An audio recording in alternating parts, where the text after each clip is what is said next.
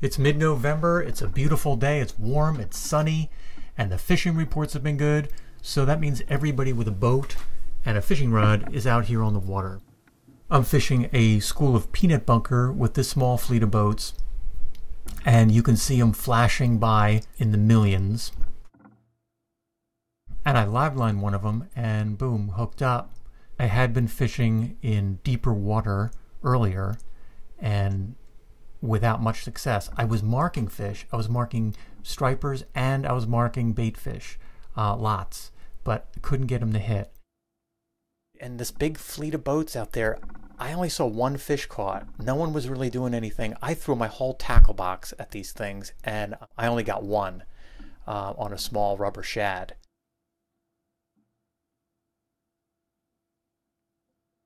I like to use one of those rubber Home Depot gloves to land these things so that your hands don't get too torn up.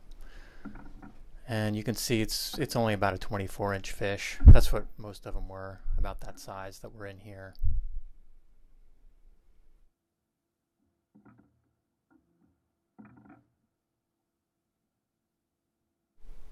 This is shallower water here. It's only about 10 feet deep. And you can see it's very close to the beach, uh, fishing just outside of the breakers. So I'm just using a jig head here with a live bunker on it. And you can see I'm just kind of jigging it every once in a while just to kind of wake the bunker up. Um, I could feel him swimming around out there, and when he'd stop, I just kind of jig it a little bit just to kind of get him going again. And that was enough to get this hit here. I'm using a jig head just out of laziness and convenience. I had been out in deeper water, as I said earlier, and I was jigging with a small shad, rubber shad, and when I came across this school of bunker, I just took the rubber shad off and I started snagging bunker with it and dropping them down. And it worked, so I just kept doing it.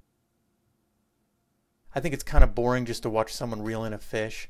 So let's look at, I put the camera underwater and shot this school of bunker swimming by, and I think it's just kind of cool.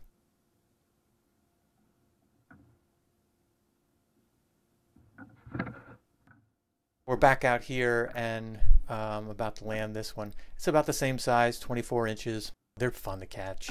Um, we had bigger fish earlier in the week, but I don't know. I'll take this kind of day anytime. Nice, warm, comfortable you're out there. It reminded me of fluke fishing, really. In fact, um, I caught a 20 inch fluke.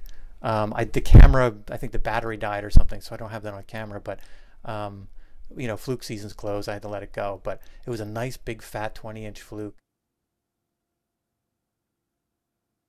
And you can see the jig head there. It's just a plain white jig head, 3 8 ounce jig head.